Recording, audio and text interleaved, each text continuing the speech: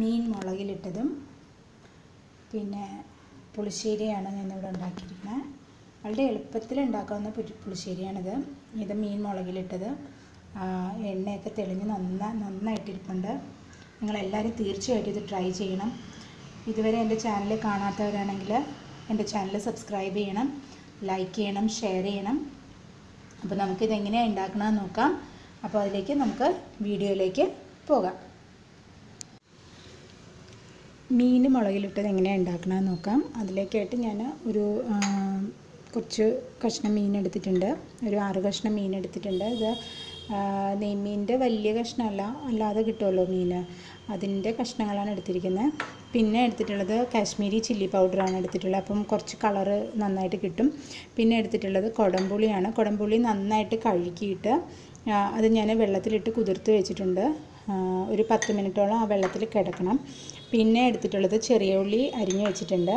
പിന്നെ ഇഞ്ചി വെളുത്തുള്ളി കറിവേപ്പില പിന്നെ മഞ്ഞൾപ്പൊടി ഇത്രയാണ് വേണ്ടത്. പിന്നെ ആവശ്യത്തിനുള്ള വെളിച്ചെണ്ണ ഉപ്പ് ഇതൊക്കെയാണ് നമുക്ക് വേണ്ടത്. അപ്പോൾ നമുക്ക് എങ്ങനെയാണ് ഉണ്ടാക്കണമെന്ന് നോക്കാം. അപ്പോൾ നമുക്ക് അടുപ്പിലോട്ട് ഒരു എന്റെ കയ്യിൽ ചട്ടിയില്ല. അപ്പോൾ ഞാൻ ചീനിച്ചട്ടിയിലാണ് വെക്കുന്നത്. അപ്പോൾ അടുപ്പിലോട്ട് ഒരു ചട്ടി വെച്ചിട്ട് നമുക്കതിനൊന്ന് റെഡിയാക്കി എടുക്കാം.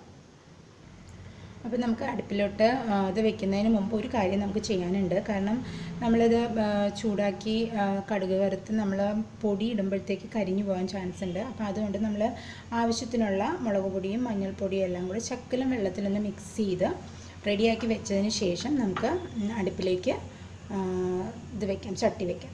അപ്പോൾ ഞാൻ എടുത്തിരിക്കുന്നത് ഒരു അത് ഞാൻ പറഞ്ഞല്ലോ കാശ്മീരി ചില്ലി പൗഡറാണ് എടുത്തിരിക്കുന്നത് ഞാനൊരു ഒരു ഒന്നര ടേബിൾ സ്പൂണ് കാശ്മീരി ചില്ലി പൗഡറാണ് എടുത്തിരിക്കുന്നത്. അതിന്റെ കൂട്ടത്തിൽ ഒരു ടീസ്പൂണ് മഞ്ഞൾപ്പൊടി ഇട്ടിരിക്കുകയാണ്. ഇട്ട് ശക്കലം വെള്ളം ഒന്ന് ഒഴിച്ച് ഒന്ന് കുഴച്ച് വയ്ക്കുക. അത് അപ്പോഴാകുമ്പോൾ വെള്ളം എന്താ കരിഞ്ഞു പോകാൻ ചാൻസ് ഇല്ല. കാരണം ചട്ടി ചൂടായിരിക്കുമ്പോൾ നമ്മൾ ഇടുമ്പോൾ കരിഞ്ഞു പോകാനായിട്ട് ചാൻസ് ഉണ്ട്. അപ്പോൾ അതുകൊണ്ട് ഞാനൊന്ന് ശക്കലം വെള്ളം ഒഴിച്ച് ജസ്റ്റ് ഒന്ന് ഇങ്ങനെ കുഴച്ച് വെക്കുകയാണ് ഒരു കാര്യം കൂടെ ചെയ്യാനുണ്ട്. ഞാനത് പറയാൻ വിട്ടുപോയി. നമ്മളിപ്പോൾ ഉലുവയുടെ പൊടിയാണെങ്കിൽ ഈ ഒരു മിക്സിൽ ഒരു ഒരു ടീസ് അര ടീസ്പൂൺ ഉലുവയുടെ പൊടിയും കൂടെ ചേർത്തൊന്ന് മിക്സ് ചെയ്ത് കൊടുക്കണം. നമ്മൾ സാധാരണ അല്ലാത്ത ഈ കടുക് പോലെ ഇരിക്കുന്ന ഉലുവയാണെങ്കിൽ നമുക്ക് എണ്ണ എണ്ണയിലിടുമ്പോഴത്തേക്ക് എണ്ണയിലിട്ട് പൊട്ടിച്ചെടുക്കാം. കടുക് ഇടുമ്പോഴത്തേക്ക് അതും കൂടെ ഉലുവയും കൂടെ ഇട്ട് പൊട്ടിച്ചെടുക്കാം. ഇതിപ്പം ഉലുവയുടെ പൊടിയാണ് എടുക്കുന്നതെങ്കിൽ ഈ ഒരു മുളക് പൊടിയുടെയും മഞ്ഞൾപ്പൊടിയുടെയും മിക്സിൽ കൂടെ ആ ഉലുവയുടെ പൊടിയും കൂടെ ഇട്ട് ഒന്ന് മിക്സ് ചെയ്ത് ഒന്ന് ലൂസാക്കി വെക്കാം. അല്ലാതെ ഞാൻ ഇപ്പോൾ നേരത്തെ പറഞ്ഞു നേര ഡയറക്റ്റ് നമ്മൾ എണ്ണയിലോട്ട് ഇട്ട് കൊടുക്കുമ്പം പൊടിയായതുകൊണ്ട് കരിഞ്ഞു പോകാനായിട്ട് ഉള്ള ചാൻസ് ഉണ്ട്. അപ്പോൾ അത് ഇല്ലാതിരിക്കാൻ വേണ്ടിയിട്ടാണ് ഞാനിങ്ങനെ ഇങ്ങനെ ഒരു പേസ്റ്റ് പോലെ ആക്കി വെച്ചിരിക്കുന്നത്. ഇനി നമുക്ക് അടുപ്പിലേക്ക് ഒരു പാൻ വെച്ച് കൊടുക്കാം.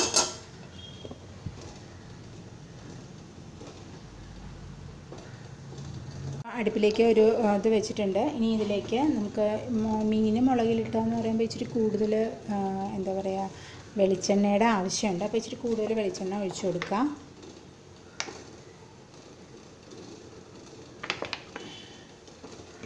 അതിനുശേഷം കുറച്ച് കടുക് ഇപ്പം നല്ല ചൂടായിട്ടുണ്ട്.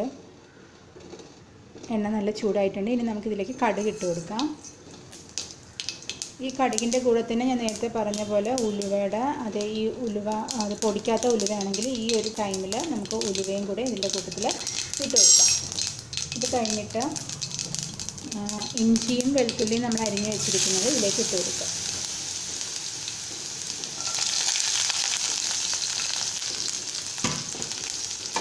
ഇഞ്ചിയും വെളുത്തുള്ളിയും ഒന്ന് വാടി വരട്ടെ. അതിന്റെ ആ ഒരു മണവും ഒന്ന് വാടി വരുന്നത് വരെ ഒന്ന് വഴറ്റി കൊടുക്കുക ഇഞ്ചിയും വെളുത്തുള്ളിയും ഒന്ന് ജസ്റ്റ് ഒന്ന് വാടി വരുമ്പോൾ നമ്മൾ എടുത്ത് വെച്ചിരിക്കുന്ന കറിവേപ്പില കൂടെ ഇതിന്റെ കൂട്ടത്തിൽ ഇട്ട് കൊടുക്കുക.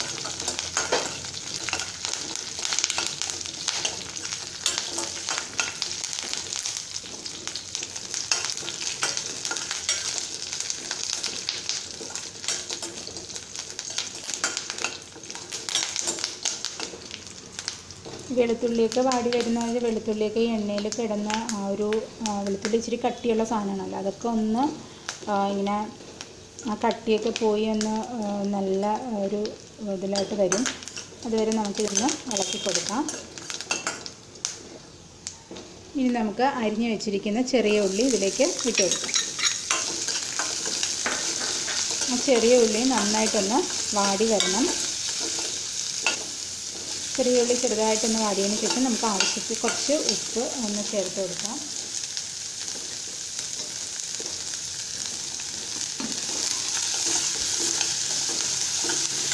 ഉപ്പ് ചേർത്ത് നന്നായിട്ട് ചെറിയ ഉള്ളിയൊക്കെ നന്നായിട്ടൊന്ന് വരണ്ട് വരട്ടെ. അതുവരെ നമുക്ക് വെയിറ്റ് ചെയ്യാം.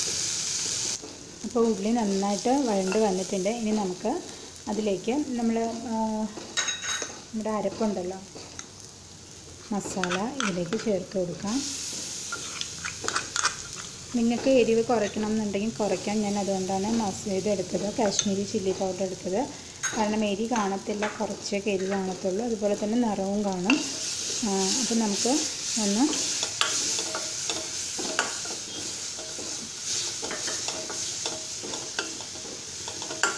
നന്നായിട്ട് ഈ ഉള്ളി ഇതുമായിട്ട് നന്നായിട്ടൊന്ന് എന്താ മിക്സായി കുറച്ചൊന്ന് നല്ല പോലെ വഴറ്റിയെടുക്കണം.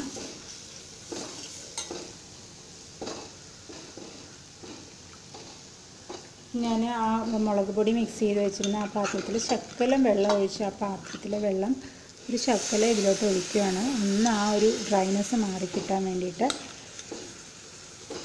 അതിനുശേഷം ഈ വെള്ളത്തിൽ ഈ ഒരു അരപ്പിൽ ഒന്ന് എണ്ണ ഈ അരപ്പൊന്ന് നല്ല പോലെ വരണ്ട് വരണം.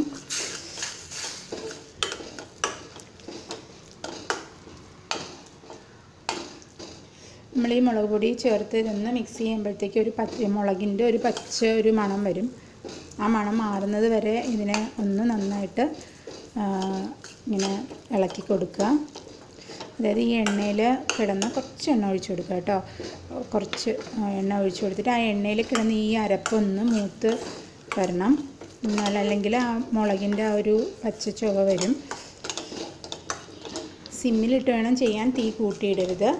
അപ്പോൾ സിമ്മിലിട്ട് നമ്മൾ കുറച്ച് സമയം നിന്ന് തന്നെ ഇത് ചെയ്തെടുക്കുക. അപ്പോൾ ഇതൊന്ന് നന്നായിട്ട് വഴണ്ട് വരട്ടെ. അപ്പോൾ ഇതൊന്ന് നന്നായിട്ട് വഴണ്ട് വന്നിട്ടുണ്ട്. ഇനി നമുക്ക് നമ്മുടെ പുളിയും പുളിയും വെള്ളവും കൂടെ എടുത്ത് വെച്ചിരിക്കുന്ന ഈ മിക്സ് ഇതിലേക്ക് ഒഴിച്ചു കൊടുക്കാം. വെള്ളത്തോടു കൂടി തന്നെ ഒഴിച്ചു കൊടുക്കുക. അതിനുശേഷം നന്നായിട്ടൊന്ന് ഇളക്കിയെടുക്കുക. അതിനുശേഷം ആവശ്യത്തിനുള്ള വെള്ളം ഇതിലേക്ക് ഒഴിച്ചു കൊടുക്കുക.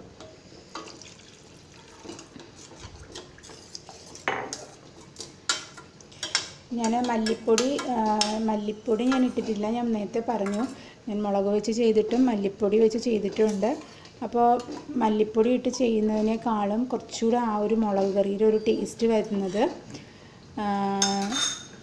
മല്ലിപ്പൊടി ചേർക്കാതെ ചെയ്യുമ്പോഴാണ് തീ കൂട്ടി ഒന്ന് തിളക്കട്ടെ. തിളച്ചതിന് ശേഷം നമുക്കിതിലേക്ക് മീനിട്ട് കൊടുക്കാം. അപ്പോൾ ഇത് നന്നായിട്ട് തിളക്കട്ടെ. അപ്പം നമ്മുടെ മീൻ കറി നല്ലപോലെ തിളച്ചിട്ടുണ്ട്.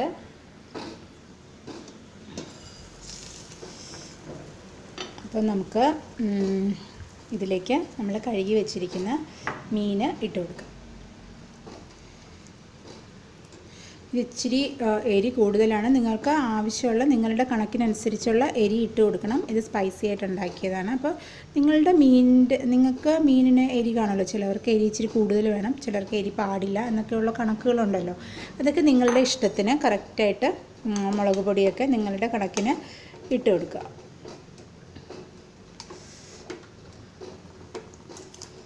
അപ്പോൾ ഇതൊന്ന് നല്ലപോലെ തിളച്ച് ഒന്ന് കുറുകി വരണം. അതുവരെ നമുക്ക് വെയിറ്റ് ചെയ്യാം. പിന്നെ ഒരു കാര്യമുണ്ട്. ഉപ്പുണ്ടോ എന്ന് നോക്കണം ഉപ്പ് ഇല്ല എന്നുണ്ടെങ്കിൽ ഉപ്പ് ചേർത്ത് കൊടുക്കുക. മീൻ ഇടുന്നതിന് മുമ്പ് ഉപ്പ് ഉണ്ടോ എന്ന് നോക്കണം ഇതിലിപ്പോൾ ഞാൻ നോക്കിയപ്പോൾ ഉപ്പുണ്ട് ആവശ്യത്തിന്. അപ്പോൾ നിങ്ങൾക്ക് ഉപ്പ് വേണം എന്നുണ്ടെങ്കിൽ ഉപ്പ് ഇട്ടിട്ട് കറക്റ്റ് ഉപ്പായിട്ട് നമ്മൾ മീൻ ഇട്ട് കൊടുത്താൽ മതി. അപ്പോൾ തിളക്കട്ടെ. നല്ലപോലെ തിളച്ച് കുറുകി വരും ഇത്. അതുവരെ നമുക്ക് വെയിറ്റ് ചെയ്യാം. മുളക് കറി നമ്മുടെ മുളക് കറി നല്ല കറക്റ്റ് പരുവത്തിന് നല്ല കുറുകി നല്ല റെഡിയായിട്ട് വന്നിട്ടുണ്ട്. കണ്ടോ? ഈ ഒരു ഈ ഒരു പരുവത്തിന് നമ്മൾ തീ ഓഫ് ചെയ്യാം.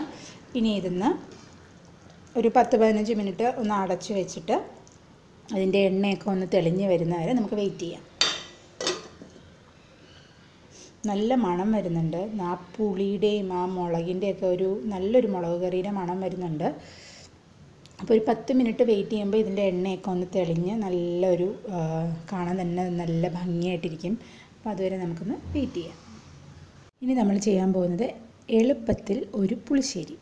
അത് അതിന് ഞാൻ തൈരെടുത്തിട്ടുണ്ട് പിന്നെ വേണ്ടത് നമുക്ക് ഒരു അര ഗ്ലാസ് വെള്ളം. പെട്ടെന്ന് നമുക്ക് ഒരു പുളിശ്ശേരി ഉണ്ടാക്കാനായിട്ട് നമ്മൾ ചിലവർ തേങ്ങ അരച്ച് പുളിശ്ശേരി ഉണ്ടാക്കും. അപ്പോൾ തേങ്ങയൊന്നും തിരുവാൻ മെനക്കെടാതെ പെട്ടെന്ന് എങ്ങനെയാണ് ഒരു പുളിശ്ശേരി ഉണ്ടാക്കുക എന്നാണ് ഞാൻ പറഞ്ഞുതരാൻ പോകുന്നത്. കുറേ പേർക്കൊക്കെ അറിയായിരിക്കാം. അറിഞ്ഞുകൂടാത്തവർക്ക് വേണ്ടിയിട്ടാണ് ഞാനിത് ഷെയർ ചെയ്യുന്നത്. അപ്പോൾ ഞാൻ അതിലേക്കായിട്ട് തൈര് എടുത്തിട്ടുണ്ട്. പിന്നെ മഞ്ഞൾപ്പൊടി വേണം. കുറച്ച് വെളുത്തുള്ളി. ഇതിനൊന്ന് കുഞ്ഞായിട്ട് അരിയണം. പിന്നെ കറിവേപ്പില മുളക് പൊടി. മുളക് പൊടി ഒരുപാട് ചേർക്കേണ്ട വളരെ കുറച്ച് ചേർക്കുക.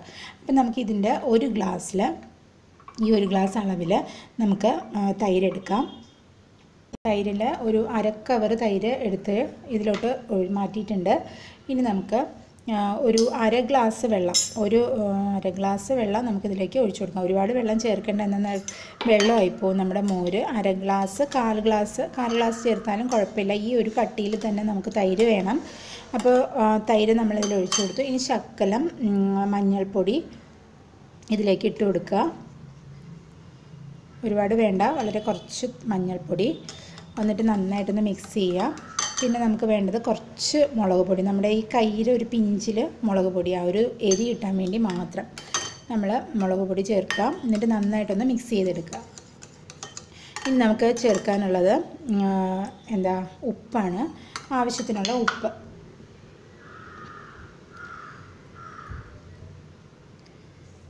ആവശ്യത്തിനുള്ള പുളിശ്ശേരിക്ക് ഇച്ചിരി ഉപ്പുണ്ടെങ്കിൽ ആ ഒരു ടേസ്റ്റ് വരത്തുള്ളൂ. അപ്പോൾ ആവശ്യത്തിനുള്ള ഉപ്പ് ചേർത്ത് നന്നായിട്ടൊന്ന് മിക്സ് ചെയ്ത് എടുക്കുക കണ്ടോ? ഈ ഒരു പരുവത്തിന് നല്ലതായിട്ടൊന്ന് മിക്സ് ചെയ്ത് എടുക്കുക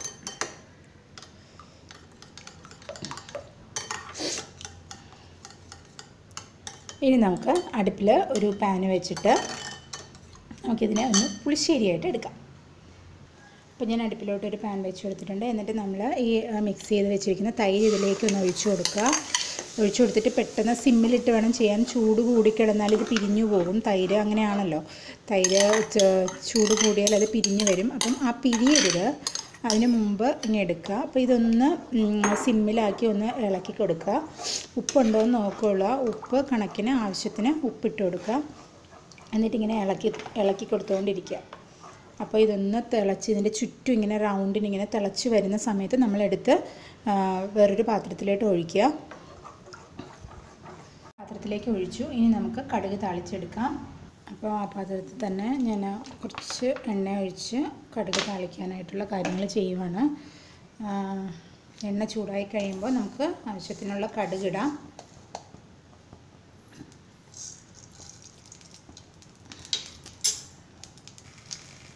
കടുക് പൊട്ടാൻ തുടങ്ങിയിട്ടുണ്ട്. ഇനി നമുക്ക് ഞാനൊരു ഒരു ചെറിയ ഉള്ളി ചെറുതായിട്ട് അരിഞ്ഞ് വെച്ചിട്ടുണ്ട്. അതിടുക. അതൊന്ന് നന്നായിട്ട് ഒരു ബ്രൗൺ കളറാകുമ്പോൾ നമുക്ക് ചുമന്ന മുളക് ഇട്ട് കൊടുക്കാം.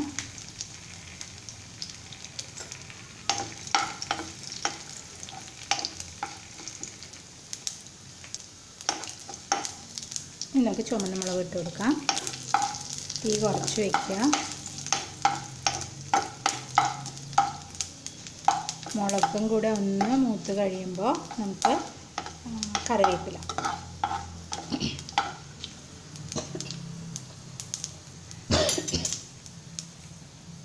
കറിവേപ്പില ഇടുന്നതിന് മുമ്പ് ഞാൻ എടുത്തു വെച്ചിരിക്കുന്ന വെളുത്തുള്ളി ഉണ്ടല്ലോ അതോടെ ഒരു കുറച്ച് ഒന്ന് ഇട്ട് കൊടുക്കുക. അതും കൂടെ ഒന്ന് മൂത്ത് വരണം.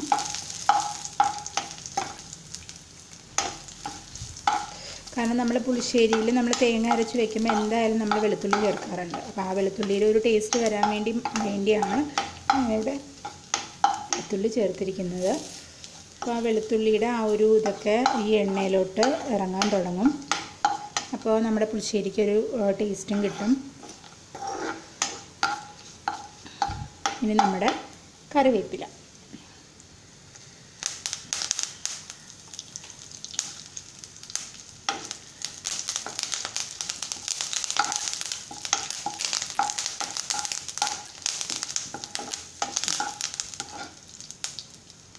അപ്പം ഇതിനെ നമുക്ക് നമ്മുടെ പുളിശ്ശേരി എടുത്ത് വെച്ചിരിക്കുന്ന പാത്രത്തിലോട്ട് ഒഴിച്ചു കൊടുക്കാം.